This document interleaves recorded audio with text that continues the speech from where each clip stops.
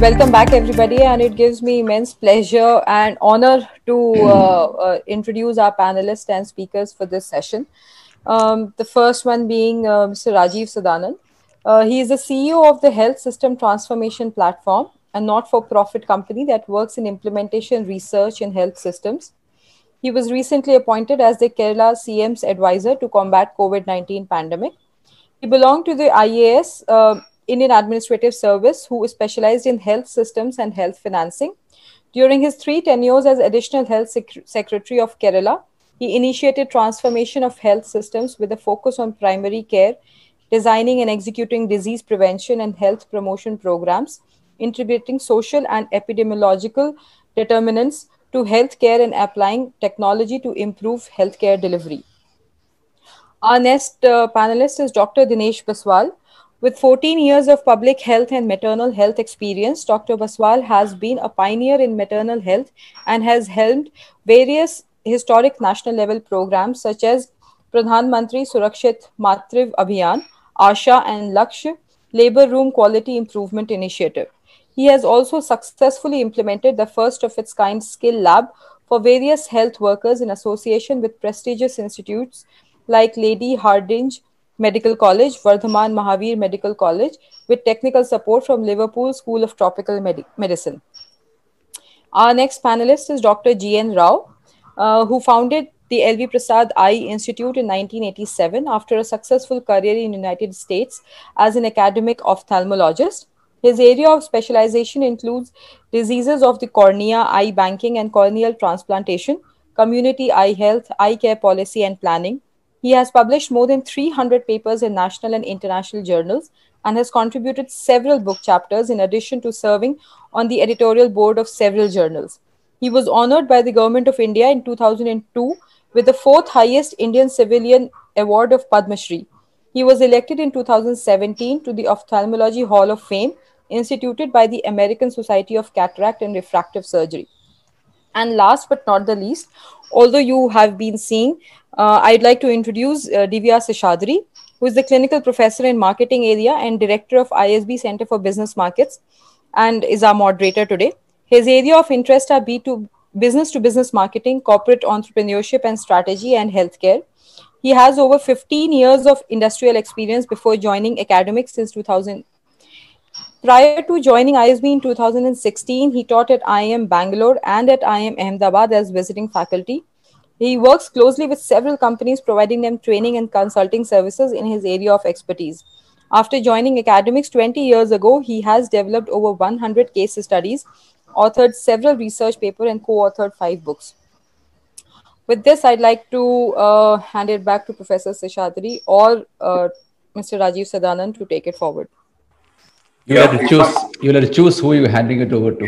To I will take it. Uh, take the baton and introduce Santosh Kraleti, who is also here, Dr. Santosh. Uh, he's uh, basically going to summarize the whole morning's proceedings. And he's uh, right now, after his medical education, heading several uh, NGOs which are focused upon breast milk bank, then adolescent mm-hmm. health, and also uh, eye care, uh, eradication of blindness and he, his organization works uh, pan India. So he will come back at the end after our panel discussion to summarize. Hello, everyone. Thank you, Professor. Thank you. Okay, now I call upon Dr. Rajiv Sadanandanji to talk, uh, give us the plenary talk for about half an hour, and then we will have a panel discussion for 45 minutes, and finally we'll have a Q&A for 30 minutes. So that will take us to close to one o'clock and then uh, we'll hand over to Santosh for wrapping up the day's proceedings. Over to you, Rajiv And let me thank uh, all the uh, organizers for having invited me, this, uh, me to this session. But let me clarify that uh, most of what I'm going to say, I mean, you can talk about uh, impact on population health in, in different ways, but I'm going to be focusing on the former health, for formal health sector uh, and uh, I must also uh, submit that this will be indexed on my experience of stewarding the health sector of a state and also my experience of having seen the way the system functioned during the pandemic in that state. uh, which is Kerala. Now, uh, often I've been told that the health system in Kerala is, uh, uh, is, is, is, more privileged, which is not true. Having seen health system in many other states, I can vouch that what is applies to Kerala applies to almost every other state except for you know minor variations. But if there's a if there's a difference, we can talk about during the discussion session. Now, I have structured my uh, presentation into, uh, into three areas. One is those things that have positively impacted the health sector, those that have negatively impacted the health sector, and most importantly, what have we learned from this, uh, uh this pandemic, from managing this pandemic, that will have an impact on our long-term management of the health sector.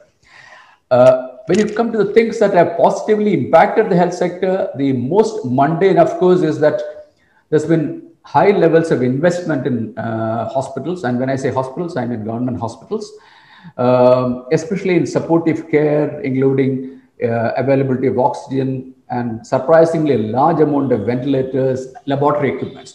This certainly will have a salutary impact on the care provided by these hospitals in future. Now, uh, many states have augmented uh, uh, an area that was sorely lacking, which was the human resources in health, mostly doctors, nurses, uh, uh, and in some cases, even outreach workers. And uh, many, because the attention of the highest level of political executive was focused in the sector, many of the vacant posts have now been filled up and absentees have been called back, which again has been a, a positive thing.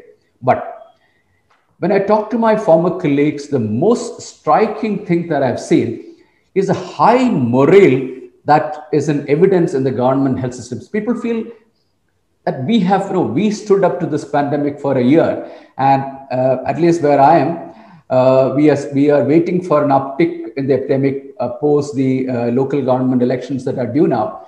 And while we get slightly worried, out in the field, people are confident we can handle it.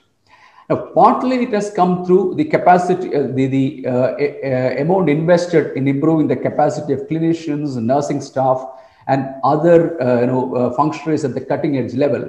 This has been this has been considerably improved, and they have they have had to do many things that they thought that, that they would never do. Those of you um, among here who have managed hospitals know that intubating is not something that is commonly done by every clinician, but during the crisis, whoever was available, you know, whoever, who, whichever nursing staff was available had to do it, had been trained and went about doing it. They also had to take critical decisions. There was no one to, you know, uh, turn to. And, and thanks to their training, the criti- critical decisions that they took saved lives. And they're very happy about that. And, and that success has kind of added to their confidence. So I believe that uh, post the uh, COVID pandemic, the system is going to be extremely confident in dealing with a crisis should we be content with it. And in passing, uh, I'm convinced that this is not the first pandemic. This is certainly not going to be the last pandemic. And we have to get ready for future pandemics. And what I've just, the, the things I've just mentioned has, uh, you know, has um, uh, contributed to building that confidence. I also see the similar confidence among the health administrators uh, doctors will pardon me, but generally doctors don't make good administrators, you know, uh, unlike uh, engineers. I mean, that's a strong statement. I'll defend that later if I have to. But during this crisis, people came good. The district health administrators, the superintendents uh, managed it, and the, they were able to take the team with them. They managed a heavy workload. And as one of the district health officers was telling me, even the shirkers did not take leave and move off. They all, you know, came back again and again and again, and, it didn't get over. It just kept coming on and on, and that is kind of uh, you know uh, again added to uh, the confidence. Now, uh, the another good thing that has happened is in health system again in government we are used to micromanagement from the top but because there was no space for that many of the local officers have learned to take decisions because they had no other option i hope that going forward the uh, uh, uh, managers will focus on on you know on uh, improving the decentralization of authority and decision making in the health sector which as we know is a good thing for better management they have uh, uh, during HIV, it was during HIV that we started looking at universal precautions, but then it kind of dropped off. During this pandemic, uh, hospital staff have been well trained on avoiding healthcare associated infections and on ensuring personal protection. Kerala was lucky in the sense that, not lucky, but we learned this during the Nipah crisis, but across the country, I believe hospital staff have learned the uh, learned the you know uh, necessity for controlling healthcare associated infections, and this will not only help in managing future epidemics, but also improve the quality of care in government hospitals like antimicrobial resistance and so on. Now, the other good thing that has happened is providers and patients have got used to something that we are not aware of before, that was teleconsultation and remote management. Practitioners are now aware that you know that uh, uh, that of the possibilities and limitations of consultation. Teleconsultation has tremendous opportunities to improve services in underdeveloped areas, and that is underserved areas, and that is now recognized. However, to make this functional, it is necessary to add other uh, you know, technological aspects such as point of care diagnostics, electronic health record, decision support systems, and application of uh, artificial intelligence in managing the teleconsultation process. I hope that going forward, uh, we will be investing in doing this, and that is again going to make a lot of difference in universal health coverage. We can expand on that uh, during the discussion time if we need. Now, but it has not been it's not been you know uh, uh, not been entirely positive there have been negative feedbacks on this the most important thing was the because the extra effort spent on uh, uh on um, covid many time constrained activities and i'm sure dr dinesh baswal will expand on this such as uh, child immunization antenatal care family planning procedures have been adversely affected and this will have long-term consequences. I mean, it depends on how we manage it. The uh, many non-COVID cases which should have been easily managed at an early stage have been postponed, and now they are now coming as uh, acute cases, which again is not a good thing for the for the uh, for the system. We are now seeing the sequelae of uh, COVID coming up, and and and it's baffling us. There are cardiac complications, pulmonary complications, neurological complications the problem is that we do not know whether these are self-limiting or uh, they will convert themselves to chronic conditions. And I hear cases of uh, extremely aggressive management of these uh, cases, which may not be a good thing that is happening. But again, as I said, it is it is uh, uh, we are unsure of how it will pan out. And God forbid if this condition is, is it becomes uh, serious, the load on our our already stressed health system could be bad uh, for the future. Uh, the other uh, area that is that's really hurt is going to hurt us is the long-term gains that we have made in areas such as hypertension, diabetes, screening, management, on tuberculosis uh, treatment, people who have mental health issues, they have not had access to these services, and I need not tell you what the consequences of this would be. Uh, this is where the resilience comes in, and I'm afraid in very few of the health systems, we have been able to firewall these long-term interventions against the impact of, uh, of, of uh, uh COVID. Many health workers sadly have been lost to COVID-19. Many have been infected, and we see that fatigue among health workers as they come. But again, heroically they're coming back but but you can see the uh, difference in efficiency when they come among the medical uh, education you know serious uh, gaps have come and i hope a policy decision is taken regarding this many students of medicine have missed important clinical training which is very crucial uh, PGs in many uh, government teaching hospitals have been deployed on just managing COVID. Uh, kids have been, our, the young students have been spending I mean, seeing nothing but uh, COVID for the last uh, few years, and that again is not a good thing for their training. Uh, it has had a serious impact on the private sector, especially the recently started uh, debt finance institutions. They've been affected, severely affected economically, and even now when the business is coming back, I hear stories about you know how difficult it is to to, to climb back. And maybe uh, we could discuss that. Uh, I mean, I'm sure that some, um, uh, in the last session, some references made to it, but that again is going to have a serious impact on investments in the health sector. Two sad things that happened in COVID management.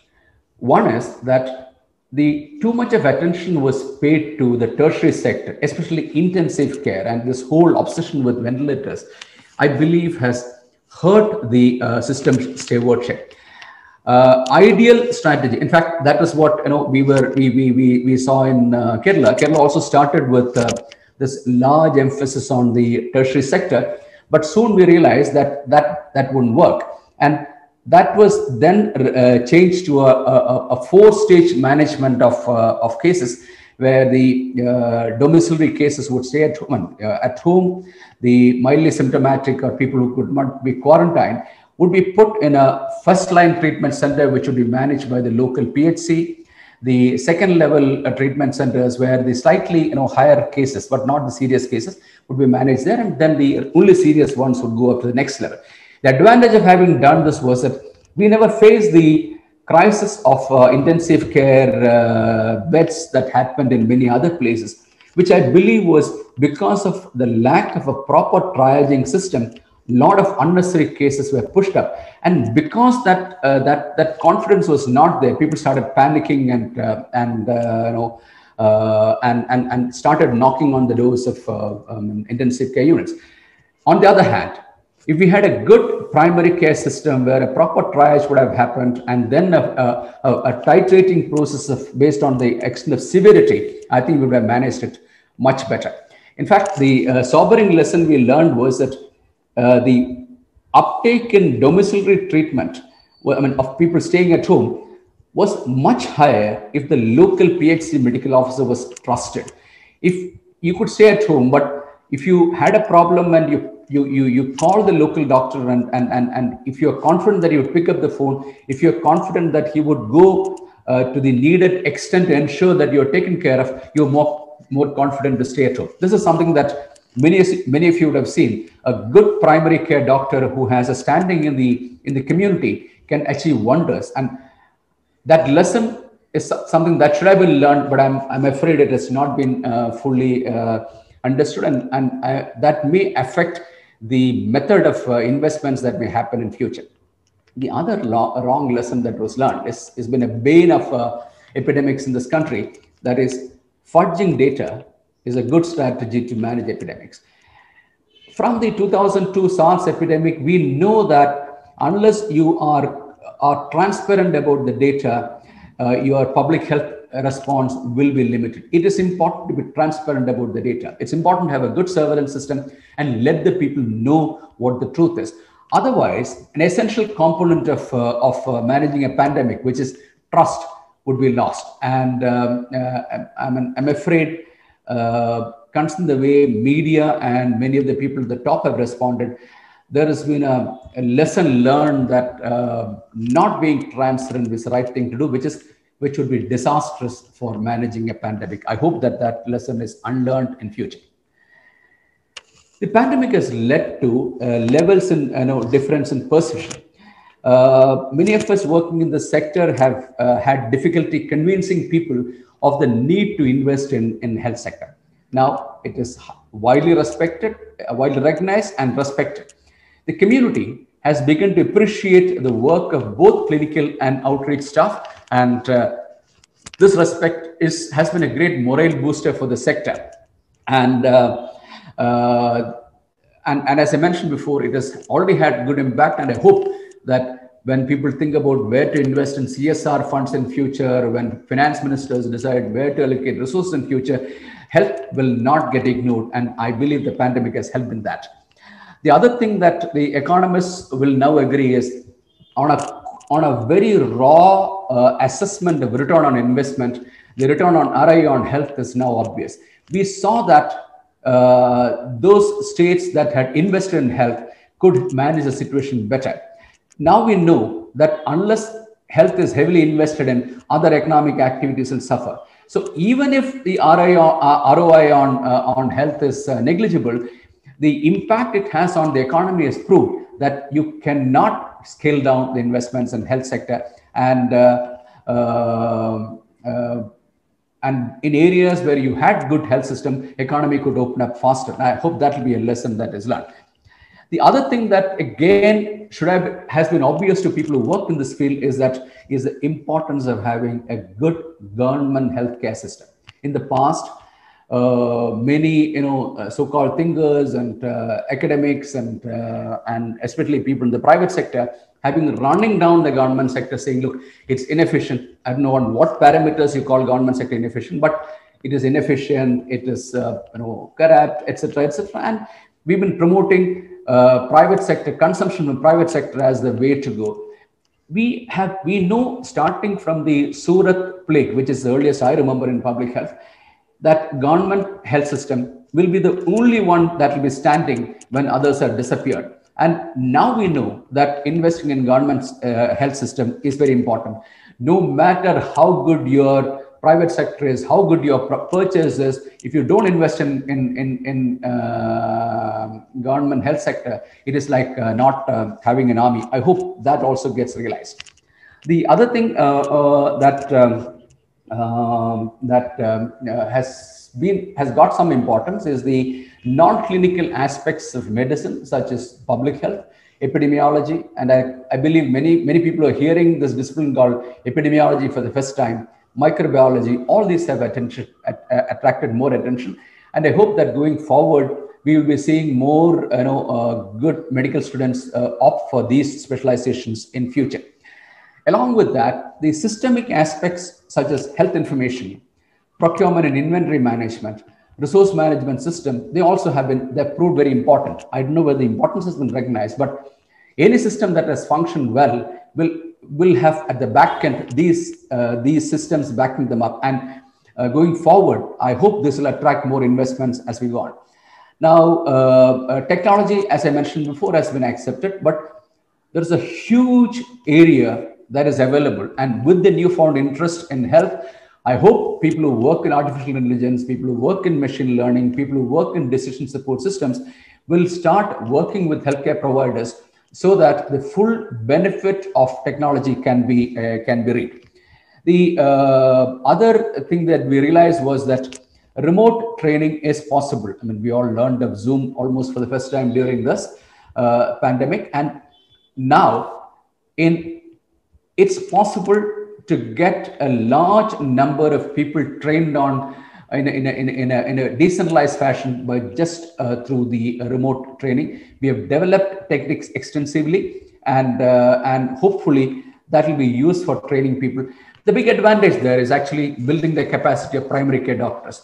Primary care doctors should be able to handle everything that is thrown at them. And this would be one of the areas that we can use to build their skills in diabetes management, cancer treat, cancer screening, and so on. I hope that will get uh, uh, will get recognized. Um, the the other lesson that we learned was that it all depended on the states. I mean, center was giving the money, uh, issuing you know uh, directives and so on, but the real management was done by the states and the districts, and that again is a lesson that we need to know the uh, other uh, area which uh, you know we had realized in the past while handling Nipah is that epidemic is always followed by an infodemic. The more serious the epidemic, the more serious the pandemic, the more severe the infodemic. Uh, unfortunately, uh, the health systems are not fully equipped to handle this. Uh, this info in, in, was not fully equipped to handle the infodemic, and we saw the large number of disinformation campaign that happened. Now, the worst is yet to come because as, camp, as vaccines are rolled out, I expect to see both from the mischief mongers and from the from the uh, anti-vaccine lobby a huge barrage of uh, you know of uh, disinformation being thrown at us. We cannot ignore the social media. Uh, that is where a lot of these battles are fought and lost and it is important for for us to uh, uh, group the youngsters. I mean, they are more comfortable in dealing with the twitters and uh, instagrams and so on and facebook. Facebook is our age but uh, the later ones are where the real damage happened and whatsapp also. So something that we have not done in the past which is having a policy to manage the uh, infodemic is, is, is again that uh, we will have to do. What are the other things that uh, you know, uh, we have learned? One is that, as I mentioned before, this was not the potentially first pandemic. This will not be the last uh, pandemic. And we have to be ready for the next pathogen.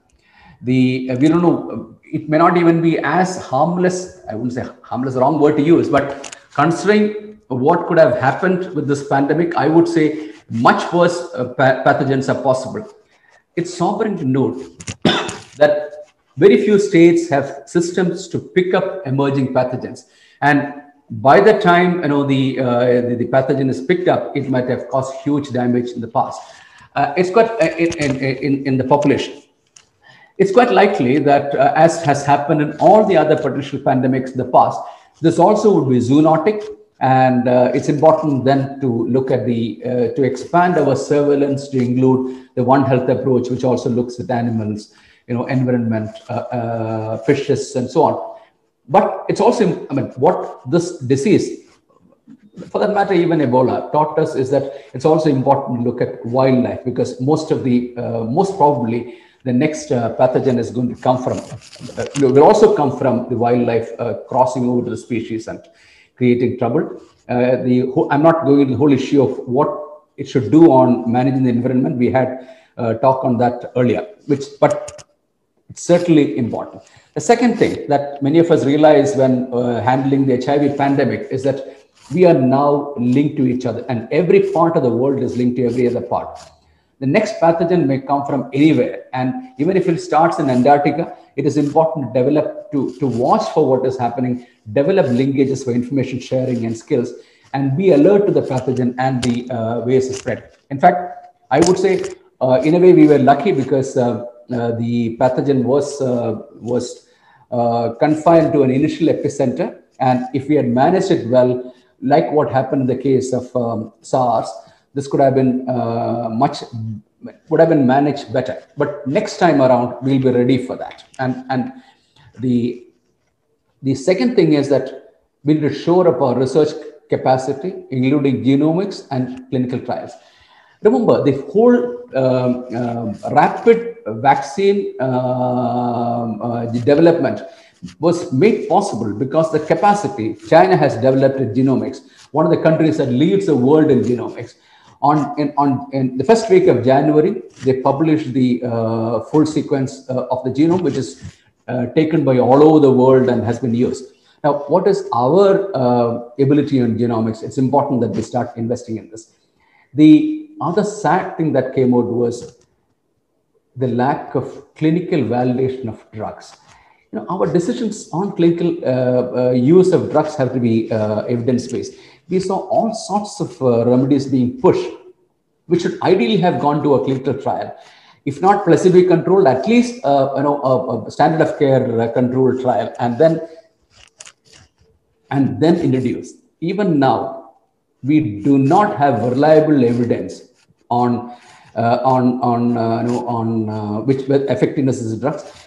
And I was really sorry to see many senior academics forgetting the basics of of clinical trial that correlation does not mean causation. I, I, I, hope in future we won't, we will not be caught, uh, you know, uh, caught uh, unawares like that. The other thing that we missed is the learning system that can uh, that will make it possible for us to pick up learnings from the people on the ground, in the front line, and filter that up. A lot of the traffic that happened during this pandemic was uh, was was was one way, that is downward.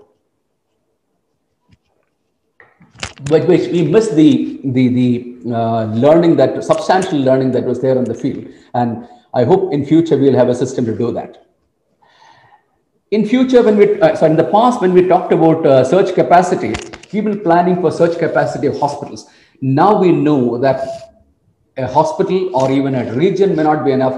We have to plan for search capacity for the entire health system, and it's it's it's it's going to be a huge uh, uh, task, but something we have to plan for and invest.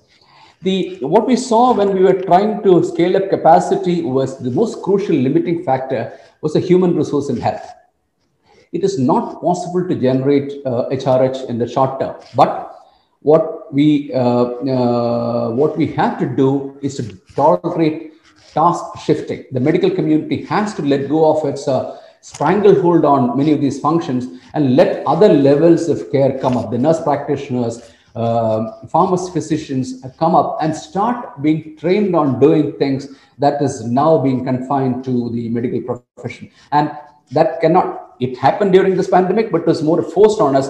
If we have to actually uh, have a, a, policy decision, we need to have changes in the Drugs and Pharmaceuticals Act and, and, and so on.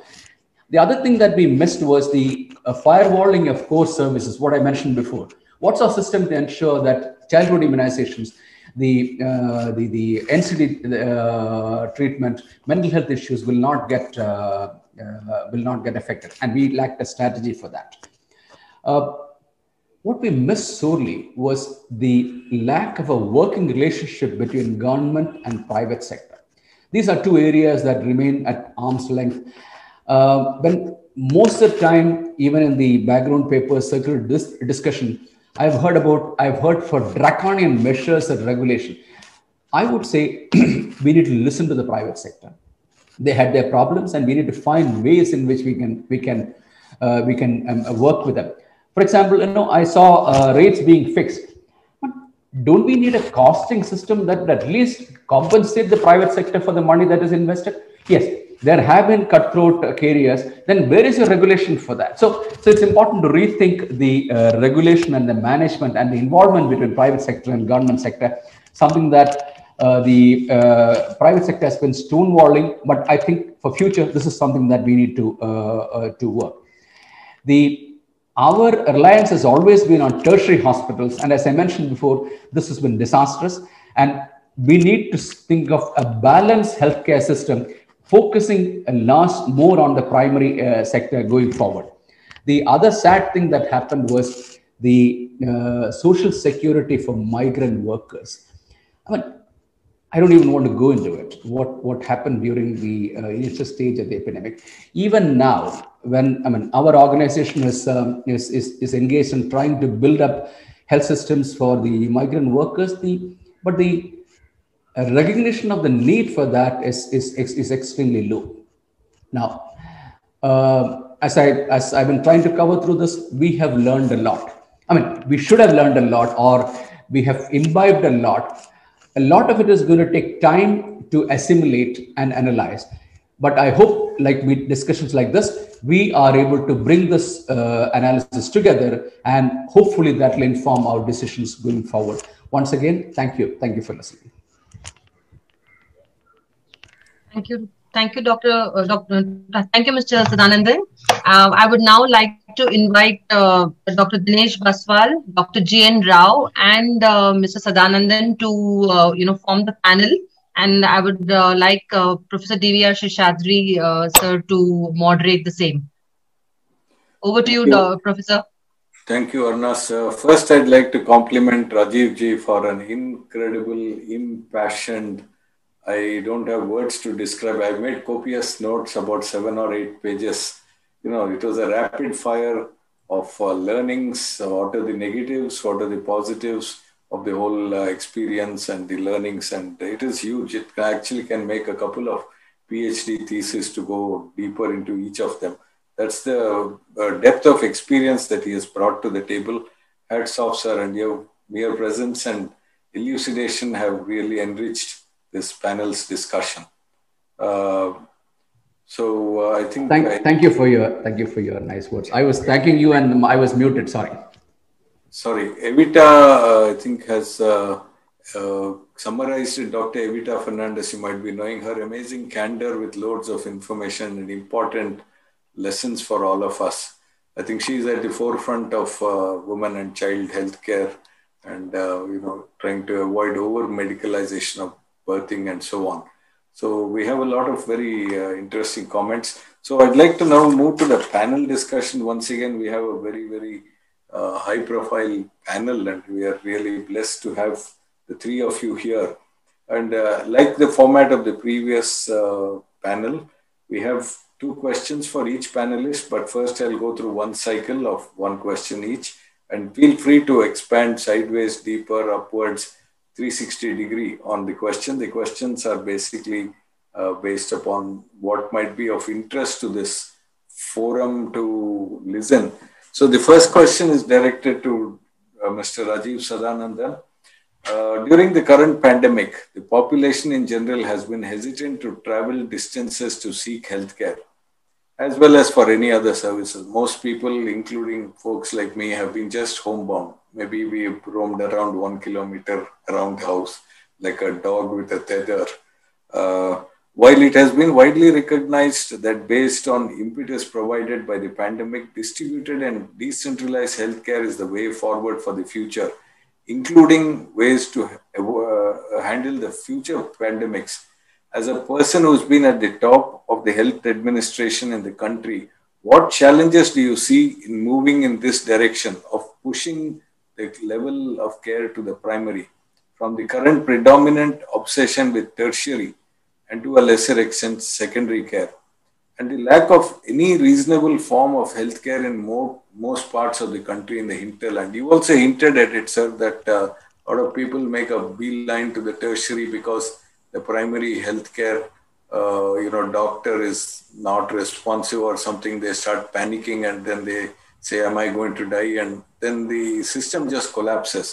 So everybody recognizes this in the healthcare system that there is need for a lot of primary uh, focus but uh, intention and reality there's a huge gap so what are your takeaways from that uh, very important question uh, Dr. Sharna, here you will have to, uh, Seshadri, you will have to uh, moderate me because this is a favorite topic and I won't stop talking on this. You know? So you'll really have to uh, control the session. Okay. Now, um, if I may just say, after about uh, seven or eight or minutes, I'll just wave to you. Yeah. Okay. Okay. so, so, so, so you can be sure that I will just carry on because this is my favorite topic while in government and outside it. Look at this way: the uh, a, a, primary care doctor in NHS, the GP, uh, he is a specialist. He has a three-year, uh, you know, uh, PG. Uh, he handles. Can you guess how many patients? 2,500 cases max, 2,500 people are assigned. And if you go to a GP practice in the UK, you will find he's got nurses, he's got nurse practitioners, he's got remote, the whole, paraphernalia. I could run a subdivisional hospital with the kind of paraphernalia that is there in a, in a, in a, in a, in a GP practice. Compare that to what our GPs have. I mean, our primary care doctors have. 30,000 is the population that is assigned to the poor guy. And he has one nurse maybe a pharmacist, maybe a lab technician. And I was preparing a list of the activities that had to be done. And uh, well, while we were reworking the primary care in my state, I went back to my finance minister and said, look, I, I presented this argument and said, we cannot run a primary care with this kind of stuff. He said, how many do you want? I said, I want, I don't want the 2,500 for the GP. I want 5,000. Now, so, which means that instead of one doctor, you will now be needing how many? Six? Uh, and how many nurses? So he said, forget it. And finally, we, we boiled down to having uh, one doctor for 10,000 population. Now, if the primary care uh, uh, has to develop this capacity, I must have confidence in the primary care uh, doctor. For that, you have to invest in training the primary care doctor in handling anything that is that is thrown at him. It could be it could be uh, an MI, it could be a stroke, but he should be able to recognize that and he should be able to refer to the uh, to the appropriate level, and his reference must have uh, must have value. Two, he must have the, a manageable number because no primary care situation works unless you have a population assigned to them. Now, which means that we have to at least quadruple the current investment that is available in, in, in, in primary care. Three, currently when outside Kerala I spoke to, I speak, uh, I look at different health systems, they understand primary care as mother and child care. That is not true. I mean, like, you know, uh, no primary care can be just mother and child. A primary care doctor is responsible for the entire health of the population assigned to him. And when you do that, and when doc, when when the population has the opportunity of developing confidence in the uh, primary care doctor, and the primary care doctor has enough clout to refer to uh, to the appropriate level, and his reference would be treated with value. only then will we have a system. It, it calls for a fundamental rethinking of redesigning the, the, the health system. Thank you. Thank you, sir. Uh, so this, uh, if I may have a follow-on question, uh, you know, you did say that uh, it requires a massive amount of training, also changing the mindset of people that they think that primary care is mother and child care, whereas people can come with all sort of ailments, including TB or cancer or this, and guys should have uh, motivation and training. But uh, if I may ask, because I have been peeping into not the type of extensive experience you had. I have lost you. I can't hear you. Some. Uh, okay, I can't is it okay now? My problem, I don't know. Is it okay now, sir? Hello. Is it better now?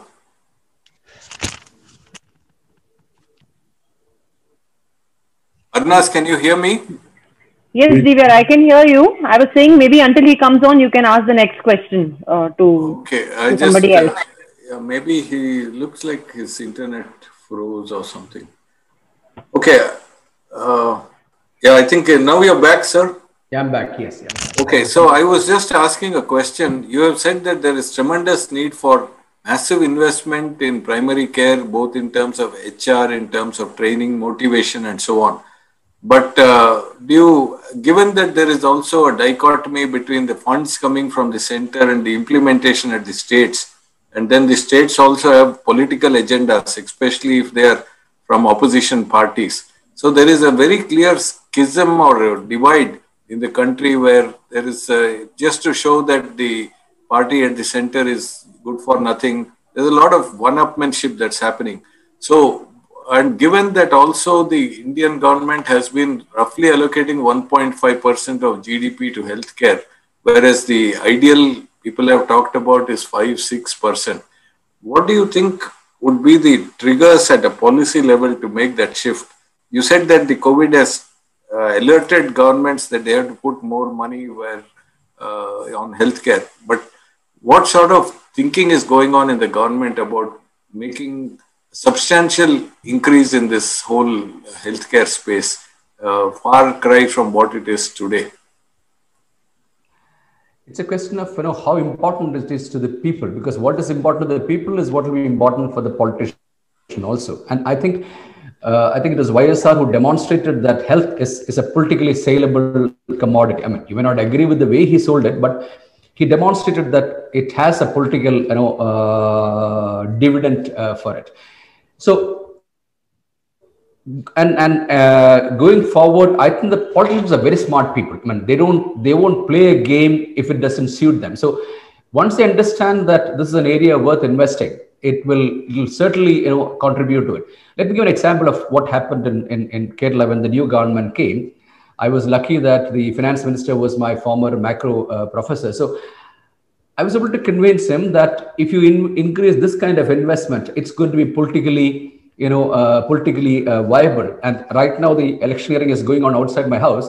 And what they keep pushing, what this government has done, is the investment in health sector. And and for the, the major thing that is going to help this government uh, uh, in, in in the campaigning, as it has happened in the past, is going to be political. I mean, uh, the investment in health. So health sells politically and central government gives only about uh, you know uh, 30 to 40 percent of the funds. Most of the funds come from uh, from the state government, um, but even that's not adequate. Uh, in states like uh, Kerala, the local bodies also put in money. So the and and going forward, I expect a substantial money to come from CSR. The question is, we all talk about 1.2 percent being raised to 2.5. If you get that, are you ready for it?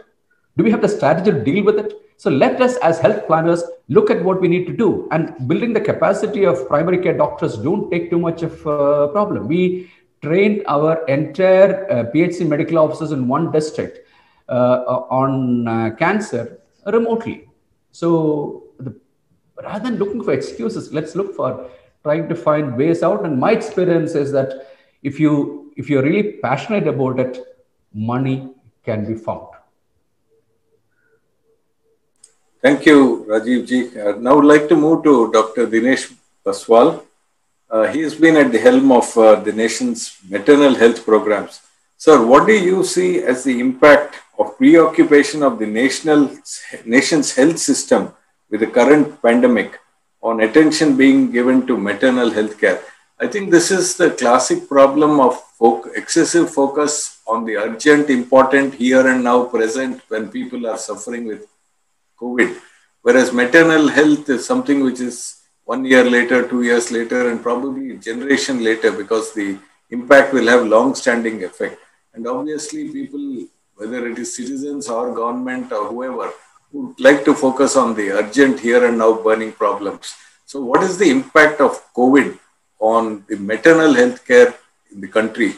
And uh, of course, we also have to talk about it in the context of future pandemics because the same patterns will repeat. You need to unmute, sir.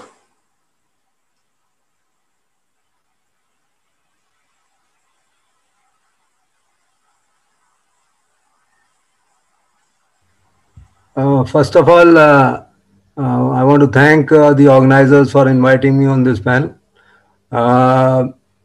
Uh, I uh, also want to pay my respect to Rajivji for, you know, we have been met on various occasions and he was on the other side and I was from the government side. And today we are on the same side talking on a panel for, on a very important subject. So let me actually, you know, start with the, uh, you know, telling you about the various uh, challenges which we had and then come back to the maternal health issue. And uh, uh I will uh, focus on uh, maternal health issues from, you know, certain WHO collaborating center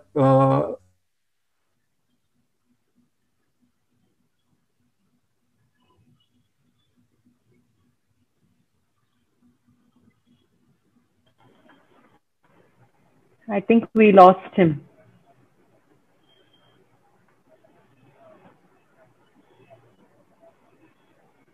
Divya, you're muted. Yeah, do you want to give him a ring or just we wait? No, I think it, I, I think until he connects, you can move on. Otherwise, we lose time. Okay, so uh, just give another 10 seconds. Right.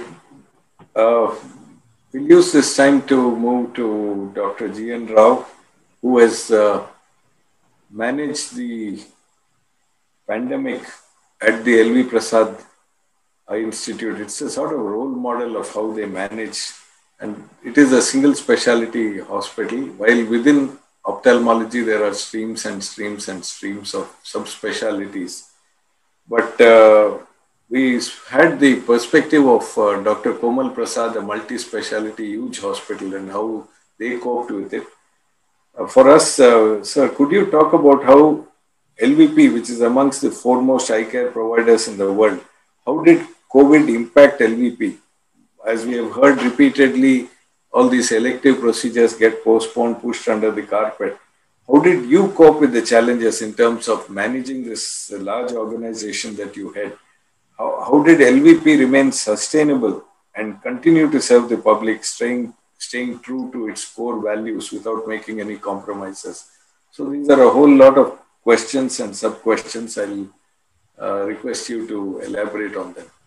I think uh, I'll go through different uh, aspects of what we did. One is uh, how we prepared. Second is uh, how we slowly reopened the services. Third is how we ramped up across our uh, multi-tier structure from community-based primary care to advanced tertiary care. But also on our 10 functional segments of the Institute. Initially, in the month of April, we closed down all the routine services. Before that, we communicated with our staff, informed them of the problem and what all measures we are initiating. And the first thing to gain their confidence and boost their morale was an announcement that none of them will lose their jobs and their full salaries will be protected.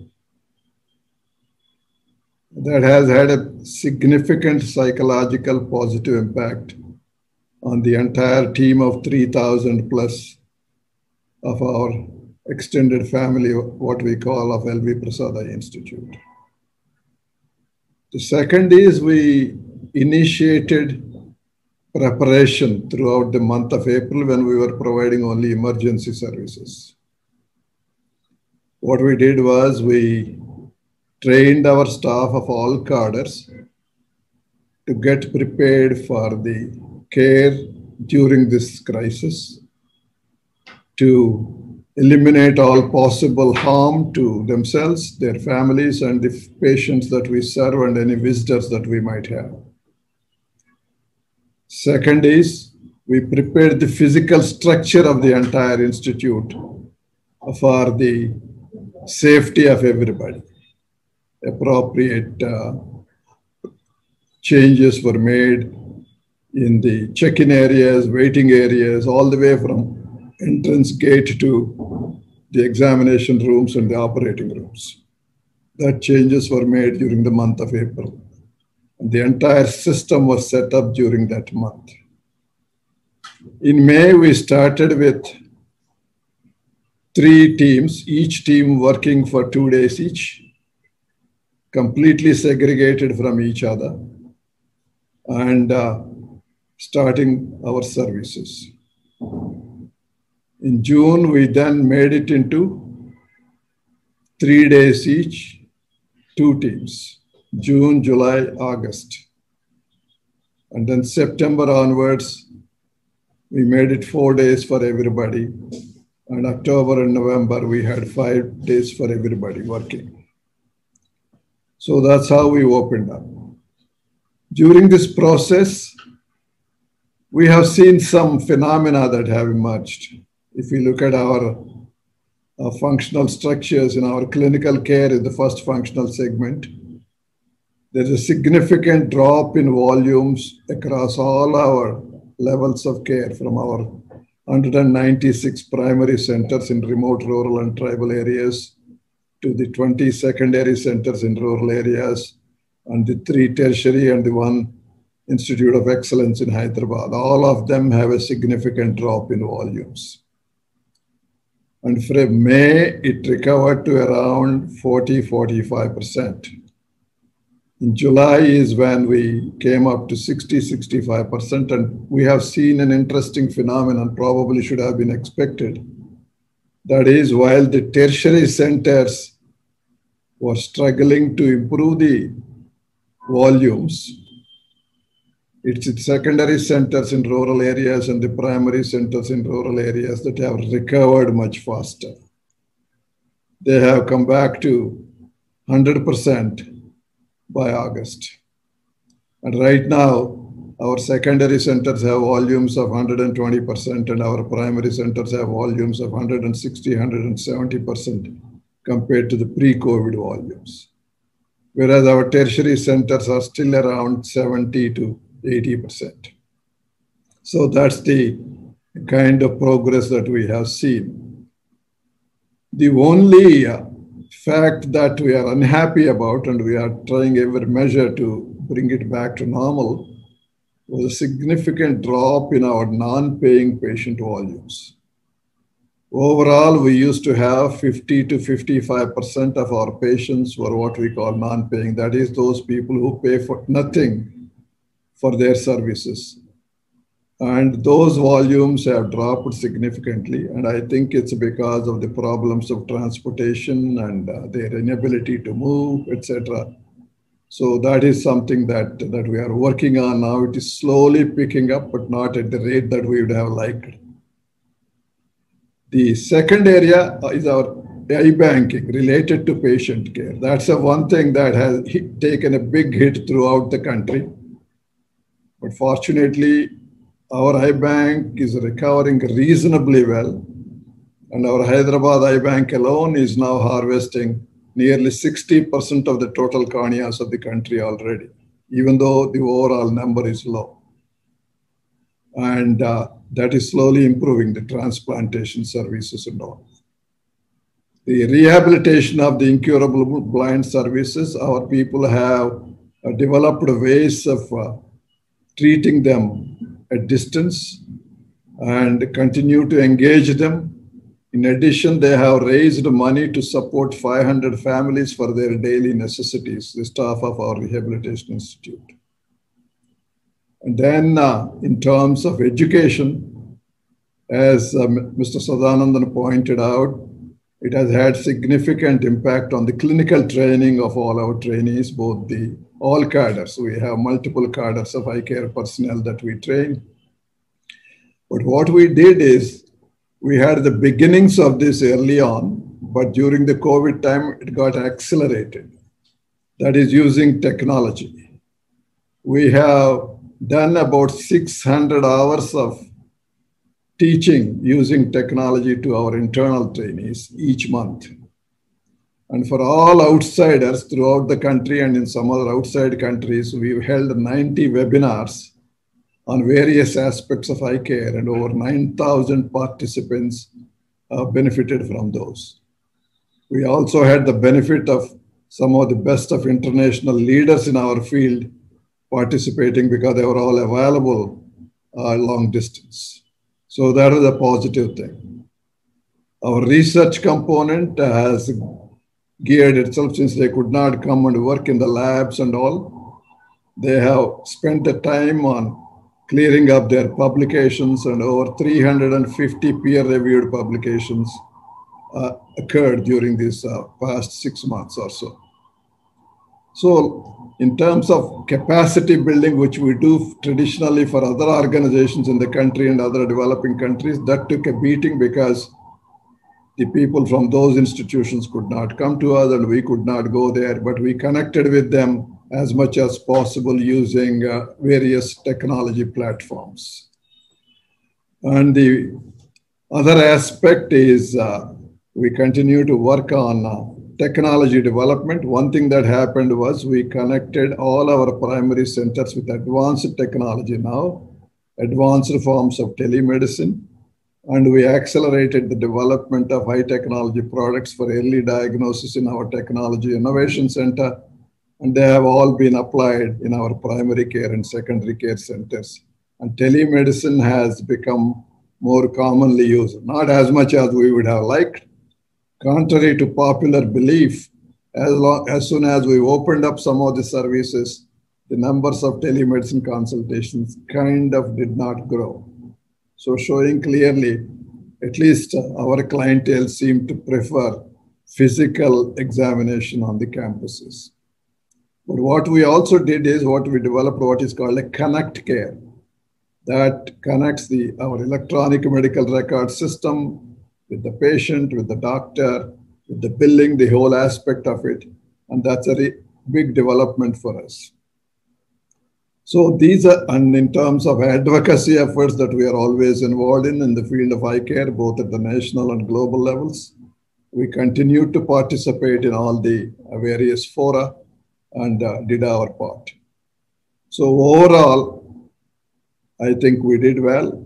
And I think starting uh, in September, our revenues also have recovered, and uh, we are slowly rebuilding our reserves. What helped financially for us has been our long term planning and the lessons we learned from various international organizations and other countries of how not for profit should function, of having a certain amount of reserves to meet the operating expenses, a lesson that has served us very well during this crisis. Thank you. Thank you, Dr. Rao. It was uh, quite fascinating how you have actually shown a blueprint for many other organizations in the future to handle such crisis. And what I see in a one-line summary of whatever you have said, which is quite uh, amazing, is that there was some deliberate actions you had done, for example, the reserves and so on. There were some emergent things which you did not envisage.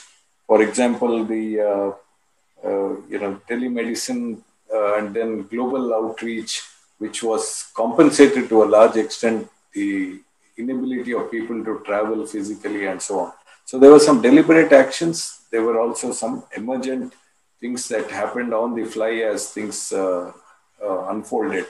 The other important thing is you took a strategic approach and not a knee jerk reaction. So there was a gradual ramp up. You didn't say, okay, so far we've been shut down in a cold storage till April or May. Now let's just, uh, you know, open the doors and go wild and get everybody in. So it was a very, very careful approach, keeping your pulse on the emerging situation because COVID was an unknown entity for almost all of humanity. So I think that gradual ramp up and a strategic approach has helped you. I'd like to cycle back to Dr. Dinesh Baswal, basically to request him to talk about the inattention of on uh, maternal health care in the context of over attention, rightly so, of the whole health system on COVID. Back to you, sir. So, so actually, you know, we have to understand that uh, for the proper understanding of impact on maternal health, we have to understand that there are uh, three, four major challenges which were there in our country. One of the major challenges have already been highlighted by uh, Mr. Raji, and that's the precarious HR position. And uh, we have, uh, you know, one doctor per 1445 uh, population. But if you in some states, it's uh, in like Bihar, we have one doctor per 28,391 and UP has uh, one doctor for 19,962 uh, population. So this was this was a major challenge. The other is that about the infrastructure which we had, uh, which uh, we, which we had, for example, less number of ICU, oxygen supply, and of course uh, the other was the laboratory facilities which we have. Now, what I've done is that uh, you know there are certain certain international studies which is going on. And uh, so I, I, will first focus on that and then come back to the indian studies which have been done of, on the impact of maternal health. Now one is this uh, live systematic review by professor shakila. And uh, they have been collecting data and they say that uh, there is uh, you know of course 10% prevalence of covid and, and pregnant women and 5% uh, of them will be asymptomatic and 40 45% will, will present with cough and fever and 20% with breathlessness uh, the other is that uh, you know uh, the there will be 4% who they will be requiring icu uh, admission and 3% will be requiring intensive ventilation. And the mortality will actually be around 6 per 1000 uh, and uh, uh, people with low BMI are actually high risk factors, you know. Initially, you know, people were thinking that normal vaginal delivery is not, you know, it is so so go for cesarean section rate. So so C section rate is around 60%. Mm. Yeah, and there was increased risk for admission of neonates and of course uh, preterm birth which is before 37 weeks of birth. And uh, that is about two uh, preterm in 10 uh, uh, of the population. Uh, broadly speaking it is actually the covid had you know similar prevalence as in the general population. And there is an insufficient evidence to confirm mother to child transmission uh, coming to the Indian studies, we, we have there is an uh, you know access and uh, availability was an issue, uh, and of course uh, if you look at from the supply side and the demand side, the supply side of fear of exposure, inadequate you know personal protective equipment, staff being infected or under quarantine, redeployment and shortage of trained staff. Uh, overstretched, uh, you know, infrastructure, uh, personnel, lack of beds. On the demand side, there was lack of information, the status available of available services, as well as increased fears and concerns of being exposed. since RMNCH facilities are not standalone, so you know, uh, you, so people uh, were worried about getting infected, and uh, so uh, from the uh, millions of couples have lost access to family planning services, and there is an anticipation of increased unintended pregnancies. Uh, this uh, Global Financing Facility uh, Financing Facility brief in which they had said that you know more than 4 million uh, women will be without access to facility based deliveries child mortality could increase by 40% uh, mortality could increase by 52% these are all projections based on the available you know data. Data from media, you know, from UP, Bihar, West Bengal, Jharkhand, Odisha, and Chhattisgarh, institutional delivery may fall by 40%. So on top of that, you know, there are, you know, this uh, cyclone Amphan and recent cyclone in, you know, which hit Puducherry and Tamil Nadu, uh, actually made things uh, more worse. And still we are grappling with, you know, and uh, of course, in certain parts of the country, we have this uh, increase of, of, air pollution, which is also helping the COVID to, you know, be there and, you know, spread the disease.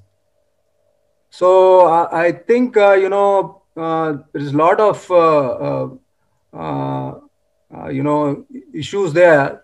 And uh, uh, uh, I hope that, you know, we are seeing the plateauing of the COVID and uh, so that we can be able to you know uh, till now things have you know been in certain state the, the they are being managed the covid is being managed very well but in some of the places you know it has gone out of hand so as to say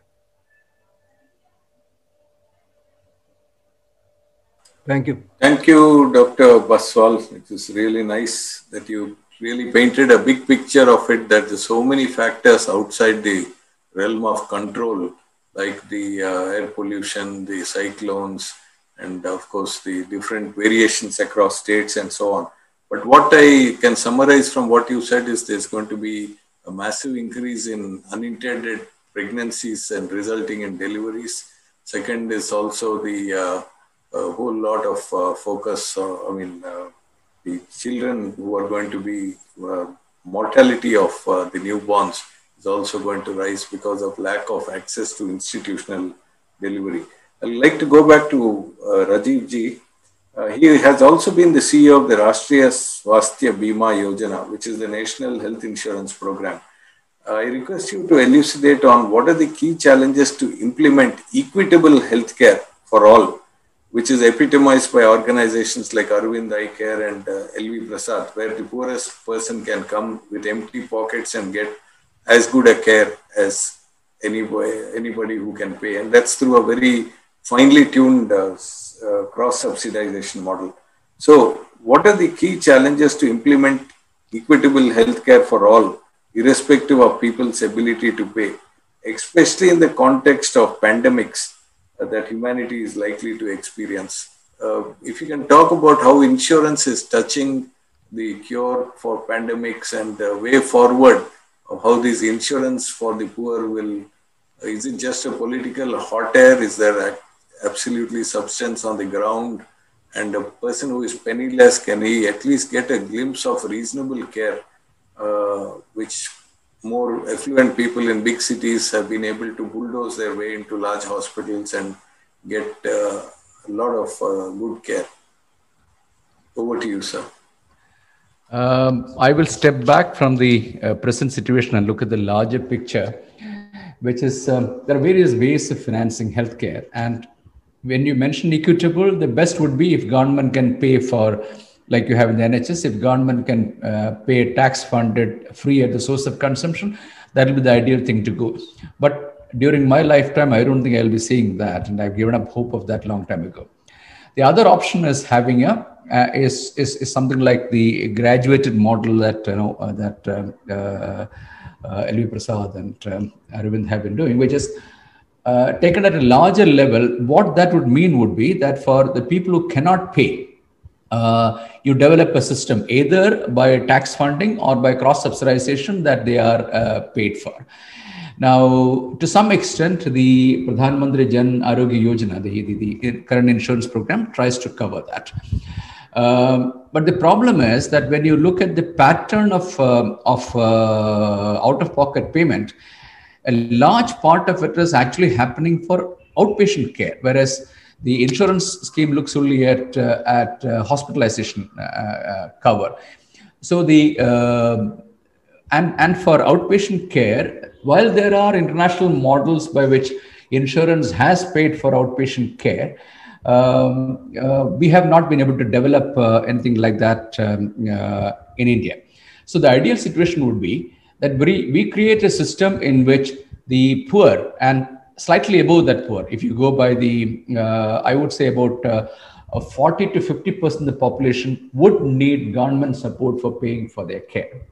Now, the other part, rather than going for you know out of pocket expenditure at the time of consumption the fee for service at the time of consumption it'll be good if we can pool this money that everyone is spending anyway you know i mean when you look at the total amount of money that is spent by the indian population on healthcare and if we can pool that to uh, in the form of an insurance or a pooled fund and have a have a better uh, negotiation with providers, it can still be managed. That is, with the amount of money that is being spent by the Indian population on healthcare, we can still uh, uh, cover part of it because uh, you know. Uh, but that will call for a system by which,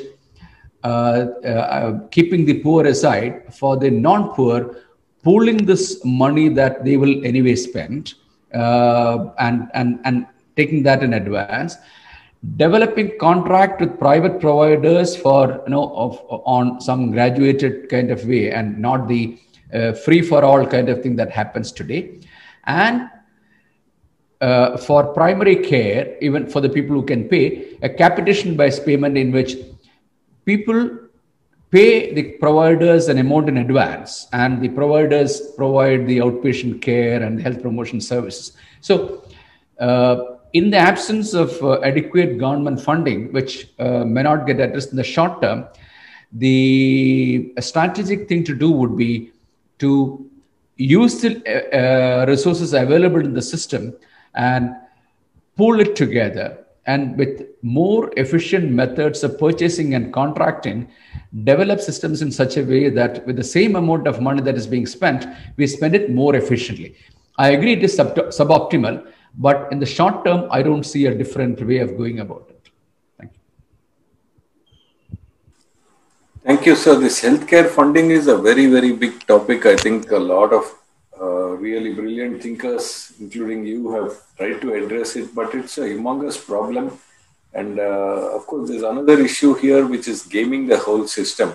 Especially a lot of private players are prone to gaming the system, which has no easy solutions And the response of the government has been knee-jerk to come with a whip and you know just ban this hospital from treating as it had happened in Hyderabad, three or four hospitals were summarily banned for treating COVID. But is that the solution? What are the, the questions are all up in the air, and that is where forums like ours can hopefully help. Another uh, quick issue, and I'll come back if there is time to you, so is you talked about the uh, need for extensive primary care uh, uplift in the primary care in terms of infrastructure and human resources. But I'll come back to you after the second round of questions with the other panelists on how do we address the problem of motivation of the primary care uh, healthcare providers, doctors, nurses, and so on. Because at least in some parts of the country, once again, they game the system, they put their attendance and push off, and uh, they draw the salary. So this is another big question, which will be nice maybe in the Q&A part itself, if you can address it as the first question, it will be nice so that we try to stick to the overall time. Uh, and also this gaming the uh, healthcare insurance, any good system, we are so creative and innovative, we'll find ways to game it. So maybe this we can take it as the first question in the Q&A. Back to Dr. Dinesh Baswal. What steps can women who are the backbone of any society, including in India, they're the backbone of the family, although they are sadly not so given such high status in many parts of the country. Uh, what can they do to ensure that they, their children, husband, and extended family are future fit to ensure that the family at least is not vulnerable to the pandemics of the future?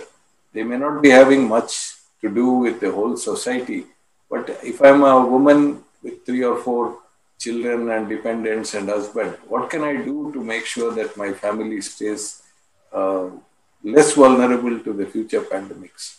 Dr. Baswal? So, so it's a very interesting question which you have put, and uh, you know, I will uh, actually, you know, tell you about the entire problem which which actually is creating is this, and how women can help. And then come back to specifically the, you know, some of uh, the uh, you, my suggestions to, you know, address it in the, from the medical point of view. So, you know, recently I had, uh, you know, basically I'm quoting from the International Union for Conservation of Nature. Uh, they have been, you know, studying that uh, and uh, how these pandemics and other things are actually coming in. And uh, they think that there is a very great, in, uh, actually, interconnection of women's right and environmental conservatism, conservation, right? While linkages between gender-based violence and environmental issue, issues are quite complex, uh, multi-layered, and these uh, threat actually to the human right and of course the healthy ecosystem. So gender-based violence is a relevance, uh, relevance of this societal problem in three critical environmental contexts. That is access and control of natural resources, ecological pressure and threats, environmental action to defend and conserve ecosystem and resources.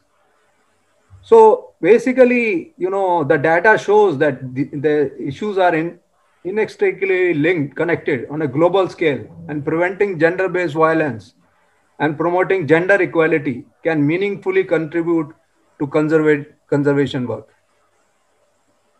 So, you know, uh, they had this uh, gender-based violence operates as a systemic means of control to enforce and protect existing patriarchal privileges uh, concerning natural resources and environmental uh, stewardship roles.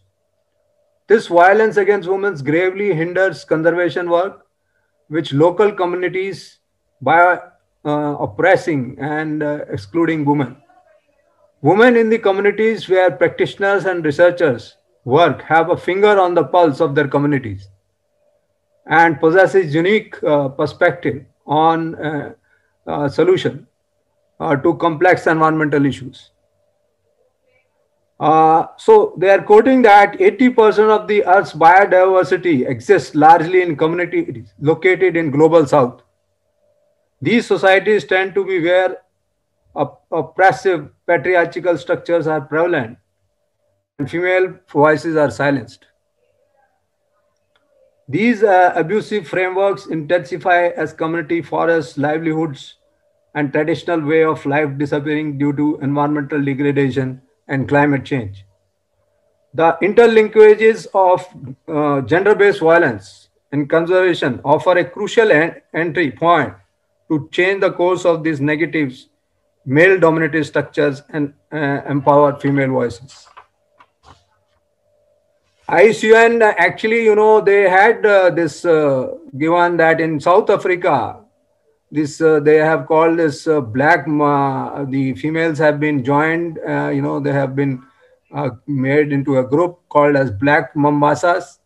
They have achieved 70% reduction in rhino poaching since 2013.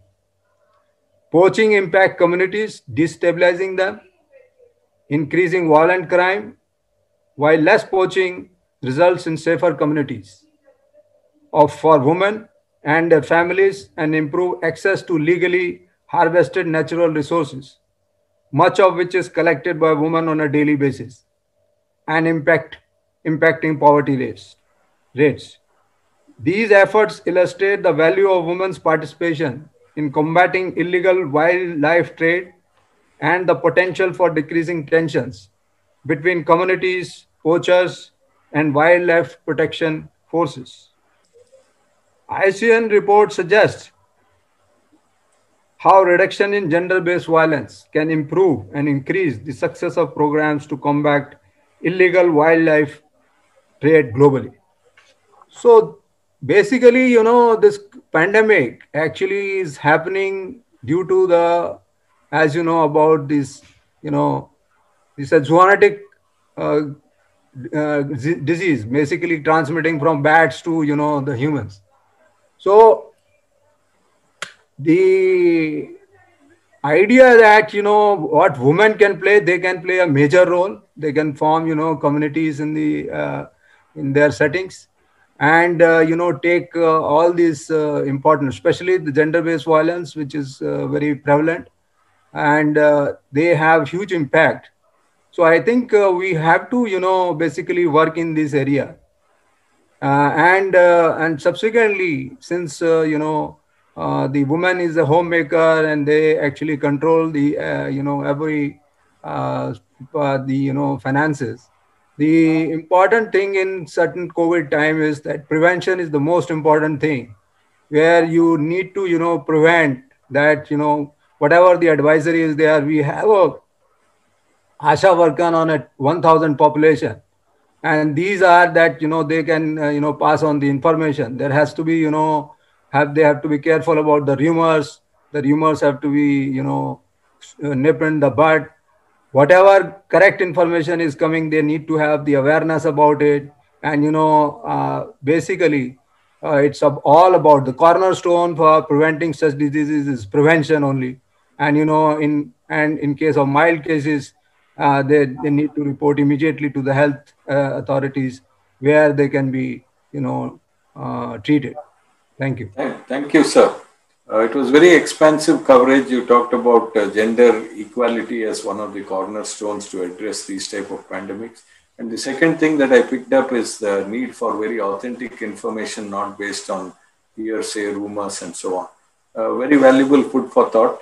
Uh, the final question is to Dr. Rao. Having successfully scaled LVPI through this pandemic. And obviously now they will have this a very strong learning organization. So I'm sure they will be future fit for any uh, other pandemics. Although I hope and pray, like we all do, that we don't have anything for the next hundred years. But nevertheless, these are realities. But Dr. Sailesh Rao talked about it. Dr. Nandita Shah talked about it. That these are going to happen unless we have a shift in our consciousness as humanity uh, so, what are your recommendations for single specialty healthcare providers, such as LVPI, to prepare themselves for the inevitable future pandemics that we will encounter in the years to come? You've already alluded to it, but if I were a single specialty uh, doing cardiac or uh, maternity or whatever cancer, what are the three or four top things that you would tell them that look, the pandemic, if it comes 10, 15 years from now, please start preparing this menu card of stuff so that you can be ready for the next wave of uh, pandemic. I'll address your question uh, based on our own learnings. One is uh, what helped us and what will help in future is making any organization with a single specialty or multi-specialty a value-based organization, clear values, constant, eternal focus on those values, and make sure as many members of the team as possible align with those values. That helped us big time during this pandemic. The second is developing a team care approach as Mr. Sadanandan also has alluded to earlier, we should not be dependent on just the physicians. We should build a care team that would encompass all cadres the nurses, the technicians, the managers, the support personnel, everybody. Ideally, every physician should have at least 10 to 15 such people helping the physician. That makes the care more efficient, equitable, and reach all levels. The third thing that we have learned from this is uh, something that we did over the past 25 years that has helped us is the decentralized and distributed care model. We did not just build tertiary centers in big cities. We went out into the rural areas and built permanent infrastructure in 20 rural areas for secondary level centers. And surrounding each a cluster of 10 primary centers. So everybody has primary eye care available within a distance of 10 kilometers from the, where they live. Everybody has access to secondary care within 50 kilometers of where they live. If these two levels of care are of good quality, with well trained human resources and good infrastructure, 80 to 85% of all care can be just done there. There is no need for any of these rural population to travel to the big cities for their care, and tertiary care is not required for many such. In fact, we started three, four years ago, and it got accelerated again during this time. Is we are beginning to cascade down many elements of tertiary care into secondary levels. The other thing that we, we have to do is adoption of technology. But don't become solely dependent on technology. Our theme is technology combined with the talent will give you the best results. And then when you couple that with tenderness, that is the care element of the healthcare profession, that caring element, then that's when you get the most best results. So these are all the lessons that we have learned. And I think any single specialty organization can uh, replicate what we, what we have as a model. And I sincerely believe that. And we are hoping that many other friends in other specialties will begin to replicate these models and move away from concentration on big cities and begin to develop high quality secondary and primary care centers within their specialties uh, that will serve them well in any situation, pandemic or otherwise. And uh, the recovery also will be faster. One thing for sure, post pandemic, most people will not travel long distances for their care. Unless you are available to them closer to where they live, most of the people will not seek these tertiary care services unless their medical problem, if such complex, that can be cared for only in the city tertiary care hospitals. Uh, this is absolutely wonderful. It's a very crisp menu card for anybody. And I uh, dare say that what you said is also applicable. You yourself prefaced it for multi speciality hospitals as well. So the first one is a value driven organization. Second is team care with a 1 to 15 ratio. Third is focus on distributed and decentralized care and intelligently merge not technology for tech's sake like many major hospitals in cities are doing to have one-upmanship over their competitors but rather technology talent and tenderness combined in a very very creative way and uh, probably alluding to one of the things that you said earlier also building up reserves for a rainy day that has held you in good stead you know and rather than splurging every money that we have on needless fancy uh, interiors and this and that, lobbies and so on, systematically build reserves that can last for one or two years. And perhaps uh, just to add some value uh, to whatever has been discussed so far, also the government's push on preventive care and promotive care.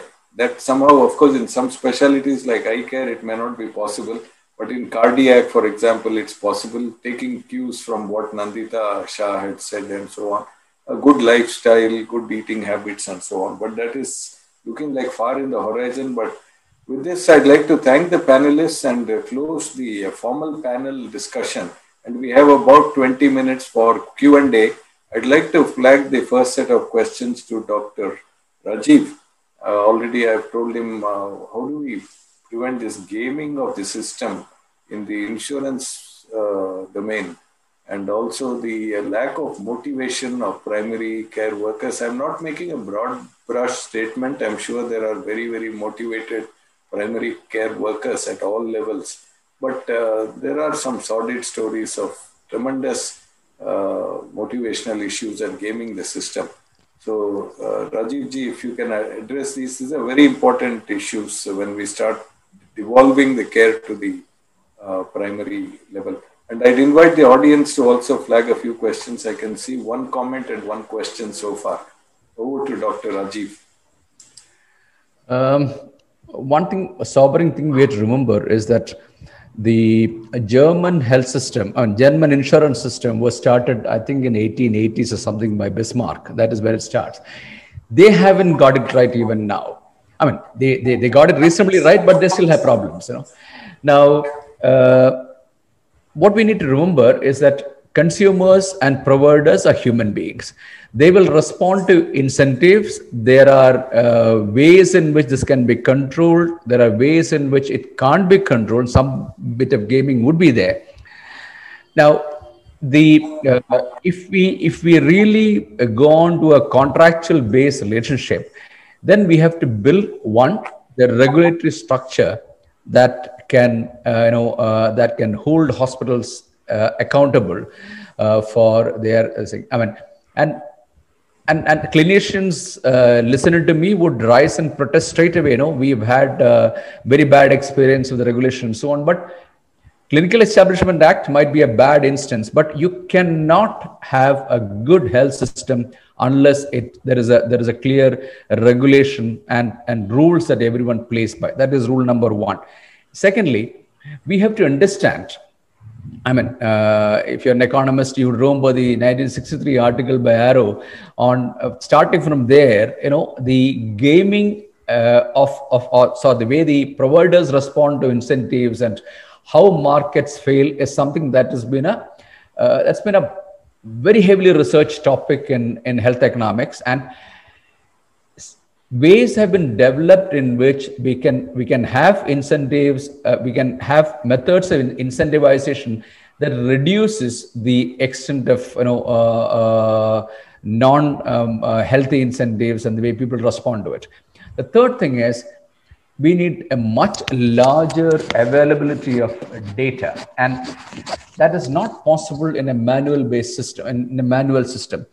A, no uh, health system that that depends on on uh, on payment based that that is indexed to quality that is indexed to outcomes and that is indexed to uh, to to activities can function unless there's a system for for capturing of this of this data. So three things. One is having a regulatory environment under which health is practiced whether we like it or not and that can't be just the policing kind of thing. You know, we need to look at regulations that have worked elsewhere. Two, having a system of uh, you know of uh, designing a system of payment and incentives based on global understanding of how providers respond to different financial incentives. and three, having a system for collection, analysis, and dissemination of data, which becomes a backbone for managing the, the, the, the, the, interaction, uh, uh, the transactions. That is, services being consumed by the uh, patient and uh, payment being made to providers. So unless we invest in this, you can you you cannot have uh, uh, you will you will discourage honest people and promote people who want to game. And my request is please don't tar everyone to the same brush. I mean, like, you know, uh, uh, having worked in insurance at different levels, I know that ideally most of us would like to do, do, do the right thing. But can you create an environment in which I can do the right thing? Can you create a, a, an incentive system in which I'm encouraged to do the right thing? That's a challenge for the regulators we respond to. Secondly, know, I maybe we are talking about different. Uh, yeah, we've interacted with different kinds of providers. You know, I make it a, when I was health secretary. I would make it a point to meet every fresh recruit and talk to them, talk to them. You know, and uh, talk to them totally candidly, and I'm impressed by the level of commitment, the level of idealism that I found on these kids. In six months, we'll ruin them I promised them to ruin them in six months. You know, the system is so badly uh, uh, adjusted in terms of, you know, uh, in terms of not providing incentives, not, I mean, uh, discouraging initiative and so on. Interestingly, what we found a major change that we have seen now is when the uh, control of primary health centers are passed on to elected officials, panchayat presidents, they do a much better job of sustaining the independence of these boys and girls. And I'm impressed by the uh, number of you know uh, excellent institutions these kids have built up, and it, brings tears to your eyes. You know, so the the challenge is kids, uh, the, the youngsters of today are idealistic and motivated. That's my belief. It's to us to create a system in which this is encouraged and not demotivated. And I'm afraid the uh, systems in every uh, institution, I mean, especially hospitals, private and government, are not geared to create the motivation for it. Let's first create that. It, it has been done, and then blame others for for no not being motivated enough.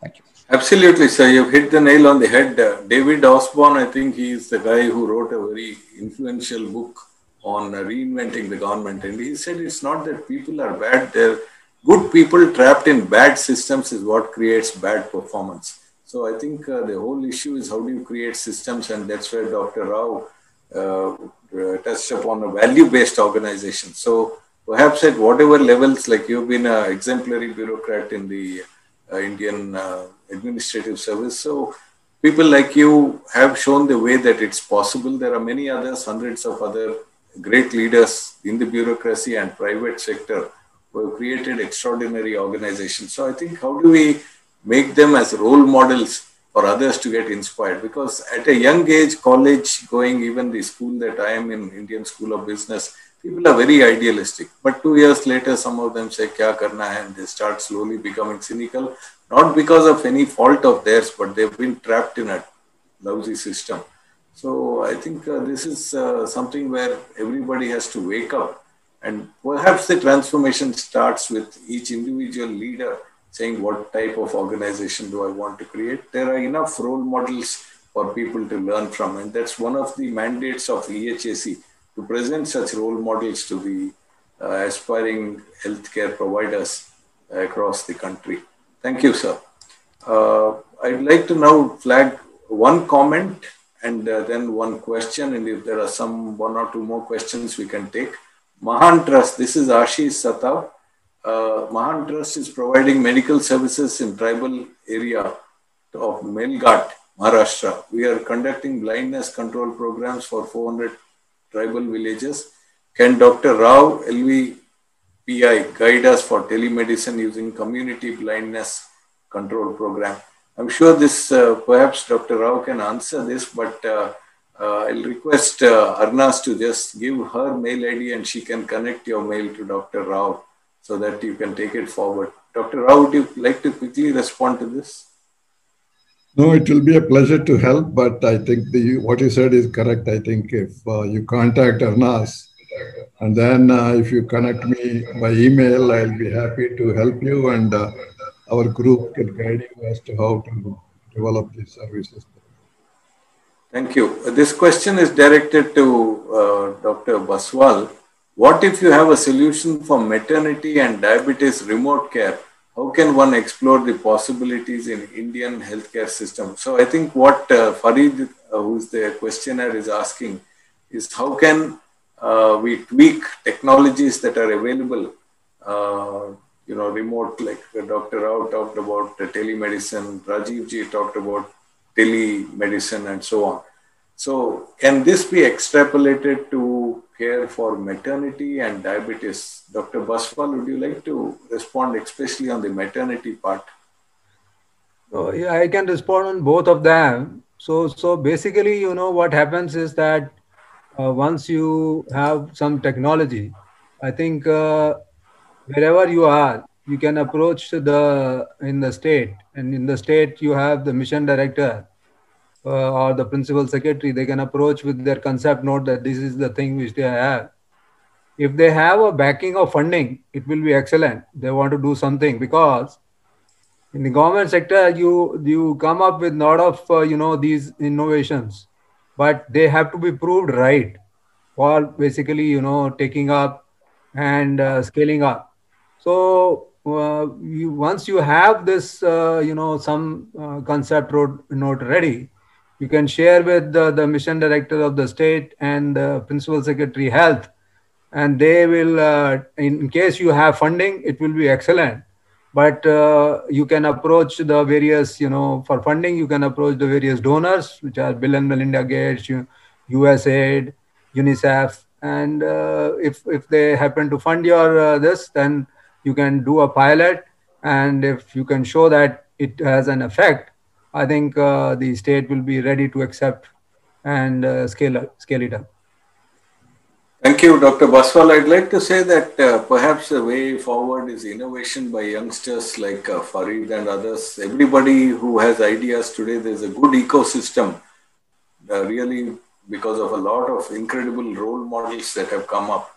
So, sky is the limit in terms of innovation, imagination, and wanting to do something to improve the overall status of humanity, whichever domain we touch, whether it is ecology, livelihood, education or uh, healthcare or many other domains, transportation. And uh, technology enables all this to happen. So, uh, whatever technology, telemedicine in maternity, I'm sure one young entrepreneur will come up with some brilliant idea of how this can be done.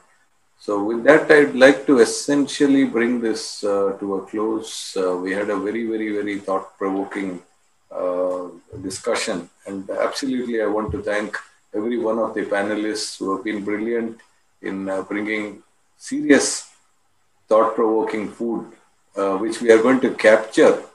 Uh, Dr. Rajiv ji has a thing, comment, the PMJAY empaneled hospitals provided care at standard rates. Maybe I'll request him to elaborate this a little bit for the benefit of all of us. Uh, and then I'll give my concluding remarks and hand over to Arnas for uh, the summary by Dr. Santosh Kraleti.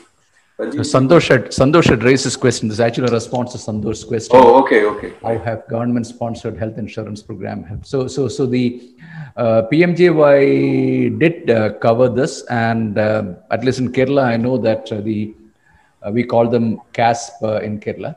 The hospitals that were covered under that were a major source of you know providing care at PMJAY rates. Private hospitals did provide PMJAY uh, uh, rates. And, and I believe in many other states also it happened.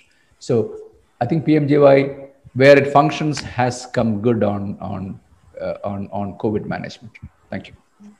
Thank you. So on my personal behalf as uh, the moderator for this panel, I want to personally thank Rajiv ji, Dinesh ji and uh, Dr. Rao. All incredible life experiences they brought and enriched the whole thing. From our side as EHAC, we intend to bring out a very nice book on this and the 19th. We have the next uh, meeting on 19th forenoon from 9 to 1.30. And uh, so we'll bring out a book actually, which I hope through the good offices of Baswalji and Rajivji, we can take it to the government also because there's a lot of uh, things. Of course, we'll edit it in a way that is more easy to follow as a, you know, do's and don'ts and so on. With your permission, sir, can we do that, Rajiv ji? Because you have given uh, so many interesting thoughts, all the panelists here. Uh, if you're preparing a book and uh, if, if, if, uh, if, if, I'm going to be cited, I'd like to see the draft before you go, go ahead with it. Sure. We'd also like to give the ownership of the authorship to you and all the panelists. We are just going to be the sutradars to make it happen, but the authors will be you people who have given these valuable ideas. But I will I, definitely yeah, pass the draft to you, sir, first. Thank you. Thank you. I'm happy to I mean, to to to to I mean, have you used uh, what what I just mentioned. Yeah, but we'd like to put on the cover the authorship or contribution from Dr. Sailesh Rao and onwards to all the people who are going to be in these two half days. Thank you, sir. Okay, Arnas, you want to uh, uh, go to the last part of today? We are exactly on time. Yes. Thank you, DVR, and thank you, panelists, for your valuable uh, talk. And I would now like to invite uh, Dr. Santosh Kumar Kraleti to give the uh, vote of thanks and kind of sum up the day for us. And Dr. Santosh is the All India Joint Secretary for Saksham, and he's the country director for CAMBA. So, Dr. Santosh, please take it over.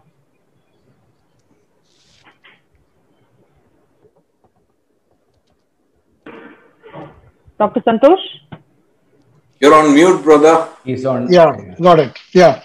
So, uh, very good afternoon to everyone, and uh, thank you, Professor DVR and Arnaz, for giving me this opportunity. If I may interrupt Santosh for uh, just a second, you're on Oh, mute. yeah? is the most common word used in the last one year. If you take a histogram of all the sentences spoken by humanity, you're on mute is the most common word. Perfect. So, which is sometimes good for the society as well. Uh, and it has been uh, uh, quite some time that uh, I have met uh, uh, Sri Rajiv Sadanandanji, and it's been pleasant that we met him here in this great enriching experience. Uh, we are. I have been meeting Dr. GN Rao quite uh, often, and uh, again today it has been quite an enriching experience. And we had uh, Dr. Dinesh Baswal from the ministry. Thank you very much, Dr. Dinesh, as well, uh, for sharing your thoughts. Uh, before I I quickly summarize the, today's morning's talks, I would also like to thank the ISB uh, Max Center for Healthcare and also for the Center for Marketing, who have been uh, rock solid behind uh, the EHAC. And uh, as we all know, it was quite an enriching and scintillating experience for the last uh, three, four hours that we have been in this forum. Uh, if I remember Dr. Sailesh Rao's uh, thoughts, I think Hyderabad will soon have to quit the biryani, and uh, we all need to become vegan.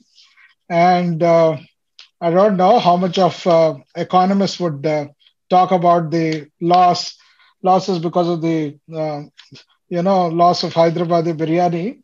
And I don't know the weekend will go without a feast and a toast. Uh, but then it was quite some uh, thought-provoking stuff that he uh, he had pointed out that climate change is actually a public health crisis. It's not just a mere environmental issue.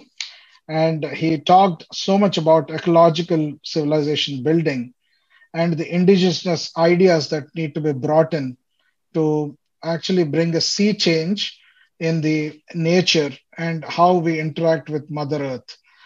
Uh, very, very, very, very candid and um, thoughts that he had shared during the discussions as well. And very important uh, mm, case studies that he has brought in about uh, Paul Chatlin and about uh, how we have so many codes, which are even Raju Sadanandan sir would like, so many codes for making money, but not so many codes for actual treatment. So it was uh, quite uh, uh, a learning experience for me as well uh, on personal front. Then we had uh, from SHARAN, Dr. Nandita Shah, uh, her rich experience about you know vegan um, diets and also diets which are rich in nutrition uh, which can actually uh, cure diseases she's talked so much about reversing cardiological diseases and cardiovascular diseases and i'm sure uh, she would have provoked a lot of thoughts about urban farming organic farming and kitchen gardens and i'm sure many of us would go back and do some of it in the weekend the uh, discussion that uh, Mr. Subodh uh, Kumar had with the three panelists again, Dr. Sailesh Rao, Dr. Komal Prasad, and Mr. Madhu Chandan, all of them very, very grounded and brought in the uh, you know problems faced by the communities and the patients during COVID, and how we could actually uh, could tide over a similar crisis in the future. In the second half of the session, again, it was an enriching experience for all of us, especially to start with Mr. Rajiv Sadanandan about how he spoke about the positive impacts, about the sacrifices made by the doctors, how they actually pulled up the socks. Many of them started intubation in government hospitals, and how government hospitals have functioned efficiently during COVID. And some of the negative impacts of how many COVID warriors we have lost of course, uh, there was a scarcity in human resources. There are some serious gaps, training gaps, and many, many learnings from uh, COVID about the human resources, about how not to fudge data, and how we are seeing even today that probably half of the cases in some of the states have not been reported. The testings have not been reported. All of this he has brought out very, very candidly and has been very open about how we can actually resurrect the system. So, uh, and trust is something which is very, very important, and how we cannot be blatantly opaque, and how important is data has been again, uh, time and again pointed out by Raju sir. And uh, it was interesting to again listen to Dr. G.N. Rao sir. We have had quite some conversations during COVID uh, to learn some of the experiences from LVPI on how to make an organization sustainable. For Saksham, uh, especially LVPI uh, is a model where we are trying to learn how to prepare for a rainy day and uh, how to use technology, talent with tenderness, and how to prepare, uh, how to decentralize the health system how not just not to concentrate all your health system at a tertiary care. This has been echoed by uh, uh, Rajiv Sadanandan sir as well on how to build a strong primary care model, probably during his lifetime. Let's hope so uh, that we build something like an NHS in, in India. So, uh, and then very, very important thoughts from Dr. Dinesh Baswal uh, about the trade offs because of the scant human resources in terms of maternal and child health. Uh, we are we are working at Niloufer Hospital. We are seeing that there has been a gross reduction in the number of deliveries that have been happening at tertiary care, secondary care uh, hospitals. So this is something that probably are taking place at homes. So as rightly pointed out, home deliveries could have uh, spiked a lot. Mortality could have spiked a lot. We have also seen cases where private hospitals have charged 5 lakh to 6 lakh rupees for a COVID delivery. So, uh, some of the important uh, things that uh, Dr. Dinesh has brought out uh, very, very vividly in his talk. And I hope uh, we, uh, we, we will see a sort of a, a vertical where we will have a stream of maternal and child health human resources at primary to secondary to tertiary level, uh, which could be a post COVID uh, policy from uh, the maternal and child care division. So, very, very thought provoking, very important uh, uh, things that have almost I've noted down in more than 20 pages that I've scribbled all through this uh, for us. And we thank from the bottom of our hearts from the Equitable Healthcare Access Consortium uh, all of you who have uh, taken time out and who have uh, shared your thoughts, your experiences, and your um, experiences of all your life. So uh, that is it from my end. Thank you so much. And uh, the second uh, session of this post-COVID learning session would be on 19th December. That would be uh, organized again by the EHAC and Arnaz would be coordinating on that front. Thank you so much. Thank you, all of you. Thank you, Dr. Santosh. Thank you, everybody, and see you on the 19th.